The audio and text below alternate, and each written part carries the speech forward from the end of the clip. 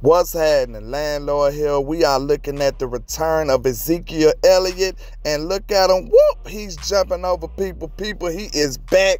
He is back, and it's official. Okay, okay. I might be getting a little too carried away, but he is looking decent, man. I see a little more burst than expected from Zeke Elliott. I see a little more wiggle than expected from Ezekiel Elliott. We already know he has all the natural running back instincts. He is doing great work in pass protection. And look at him, man. Nobody finishes runs like Ezekiel Elliott in the league, bar none. We already know he is one of those ones.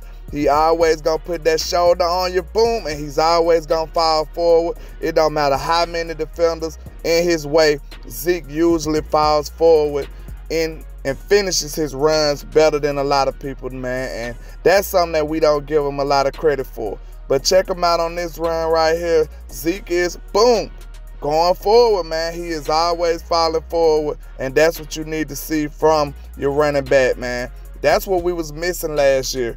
And I must admit, man, Ezekiel Elliott gives you a little bit of intimidation, man.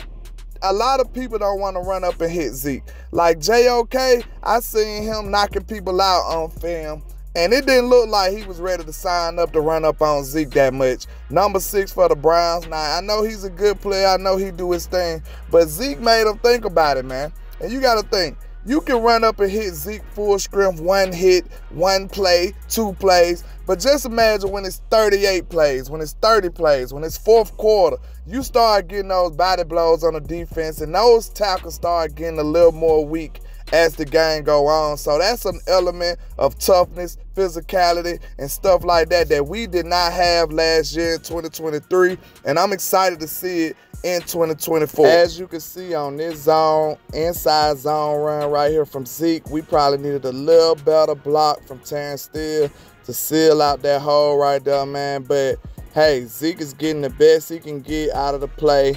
No lost yards, just try to get some positive yardage.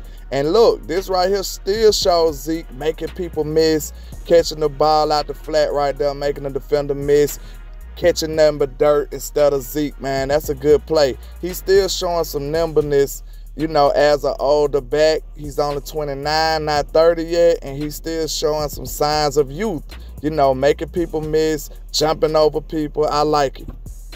Just a good, nice play design from Mike McCarthy to get some easy yardage, man. Easy yardage is hard to come by these days, especially for some struggling offenses. But I like how he got Tyler and Zack pulling, opening up some run lanes from Ezekiel Elliott for some YAC after the catch. That was a great play design for some nice, easy yardage, in my opinion. Shout out to Mike McCarthy.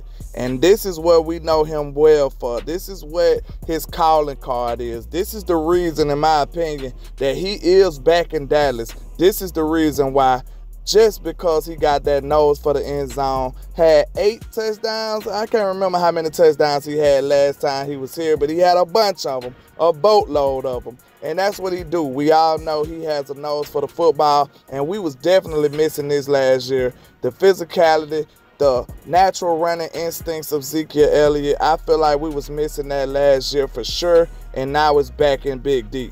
You know, pause if necessary. I know how y'all young kids are these days. But listen, I'm not acting like Zeke is going to the Hall of Fame or he's back to 2016, but I will say he seems to be effective and doing exactly what we need. We just need the change to keep on moving. But that's all I got for you today. Holla at your boy, Landlord from Alabama. Tap in for the win. Let's go.